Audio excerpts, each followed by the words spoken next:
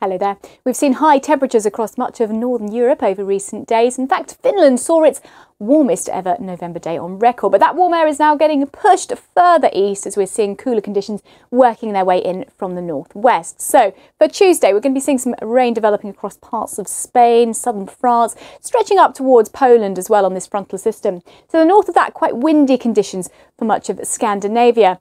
And another area of low pressure developing in the southeastern Mediterranean. So some heavy rain for Cyprus, across Turkey as well, drier into Greece into Croatia as well. But then to the north of that, we're into that cloud and outbreaks of rain affecting parts of Hungary, Poland as well. Then we are into the blustery conditions with scattered showers for the likes of Denmark, Sweden, Norway as well. Some snow, uh, some rain around the coast and some blustery winds to come here. So still pretty windy in the far north, but for Thursday, higher pressure for central parts of Europe, keeping things drier here. Could be some frost and some fog problems, fog lingering for some for a time, and those heavy downpours persisting into central parts of Spain on Thursday too. So looking ahead at the next five days or so, for both London and Paris, mostly dry and settled. Temperatures are going to be on the rise again, could be turning a bit more unsettled once again into next week. Some showers around for Madrid as well. Further east across Europe, sunny spells and dry weather set to persist in Berlin. Bye bye.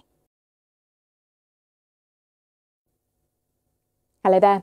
High pressure in charge across the bulk of North America. So that means a lot of dry, settled weather in the forecast for many areas and pretty warm too, temperatures above average. It's been quite cold for northeastern parts of the United States and eastern Canada, but that milder air is now sweeping its way further northeastwards. So this is how Tuesday is shaping up. We've got an area of low pressure moving in across the Pacific Northwest and British Columbia, bringing some rain, some mountain snow here, and low pressure sitting just the east of Canada as well. So quite a cool northwesterly breeze blowing for the likes of Montreal. But let's start off further west. And we're going to be seeing some unsettled, wet and windy weather with rain and mountain snow for southern Alaska, British Columbia, down into Washington state, perhaps into northern Oregon, a bit of cloud and rain at times. But California very much still hot and dry. And in fact, temperatures in Los Angeles will be on the rise over the next couple of days. It'll be cool though and showery for Vancouver and also for Seattle.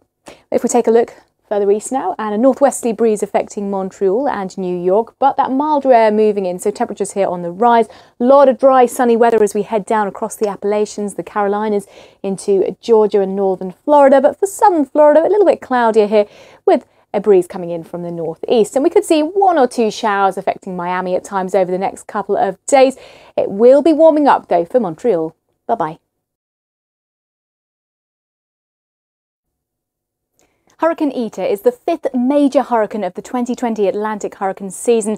It's made landfall in Nicaragua and is moving across a swathe of Central America, bringing some devastating flooding as well as those catastrophic winds and storm surge as well. We'll look at that in just a moment. But first off, across South America, Heavy showery rain across central and northern parts of Brazil over the next couple of days. Some thunderstorms mixed in with those heavy downpours. Further south, things are looking drier and warmer. Scattered showers and thunderstorms also across parts of Colombia, and Venezuela, into Ecuador as well, but they're particularly heavy through parts of the Amazon basin and some more prolonged rain around the east coast of Brazil for a time too. Heading south into Uruguay and Argentina, still quite warm here, temperatures above average for many areas. Further south, blustery showers down across Patagonia. Here's the outlook in Rio de Janeiro. More outbreaks of rain over the next couple of days. Should turn drier here though in time for the weekend. Buenos Aires is staying fine and dry too. Now, the green colours you can see on the map here, this is the rainfall coming out of Hurricane Eta. As it moves inland across Nicaragua, Honduras and Guatemala, it could produce up to about 900 millimetres of rain over the next three days or so, potentially bringing catastrophic flash flooding and landslides as well. So more on that on our website, but plenty of showers for many of our featured cities across the region. Bye-bye.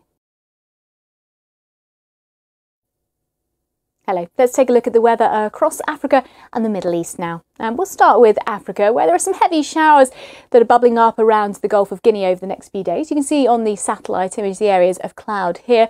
So for the likes of Nigeria, down towards Namibia as well, plenty of heavy showers in the forecast. Meanwhile, across much of North Africa, temperatures a little below average, particularly for parts of Egypt, Libya as well, with a bit of a northerly breeze blowing here.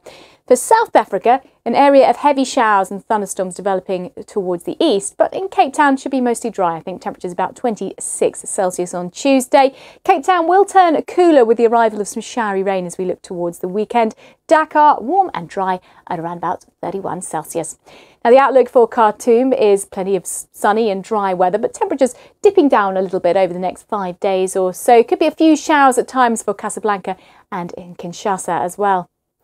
We've got an area of low pressure developing in southeast Mediterranean, bringing some rain across parts of Cyprus, Turkey, and that's spilling into Syria, Israel, perhaps into northern parts of Iraq and Iran as well. But elsewhere across the Gulf, things are looking dry, settled, warm, with fairly light wind around too. But this area of rainfall will be quite heavy, especially over the higher ground. Could be some flooding issues.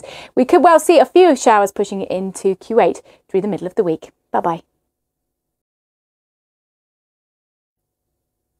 Hello, let's take a look at the weather across South and Central Asia. And as the southwest monsoon has now withdrawn, we're still seeing a few showers around, nothing too heavy across southern and eastern parts of India at the moment, and in Sri Lanka too. Still some shower cloud lingering around over the next couple of days, but further north, a lot of dry, settled weather, as we'd expect for this time of year, up towards the likes of New Delhi into Karachi too. But heading on into the middle of the week, there'll be more showers cropping up closer to the east coast of India, affecting the likes of Chennai. Moving our way further northwest into Central Asia, largely dry settled conditions here. Some colder air moving in across northern parts of Kazakhstan. That will sink further south later into the weekend and into next week. But for the here and now, it is warm and dry for Turkmenistan, Afghanistan, Pakistan, into the northwest of India too. Down the west coast, a lot of dry settled weather, but there will be one or two showers cropping up, especially down towards Kerala. Malé looking largely dry, 31 Celsius. Some heavy showers and the odd rumble of thunder across Sri Lanka, and a few showers heading into Andhra Pradesh, but they tend to die away up towards West Bengal. Here's the outlook. It's dry in Mumbai, Dhaka and Islamabad, but Colombo will keep with the sunny spells and the scattered showers, perhaps some thunderstorms mixed in as well. We're also set to see some showers continuing in Chennai over the next five days or so. It's cooling down though in Tashkent. Bye-bye. Hello there.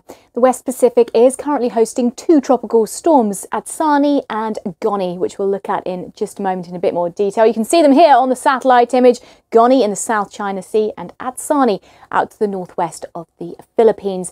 Meanwhile, further north, high pressure holds on across much of central and northern China, across the Korean Peninsula, into Japan as well. So some quiet weather here. Still a few showers for parts of Honshu and Hokkaido blown in on a brisk northwesterly wind. A lot of dry weather down the east coast of China, but then we're back into those tropical storms. Atsani is slow moving out to the northwest of the Philippines.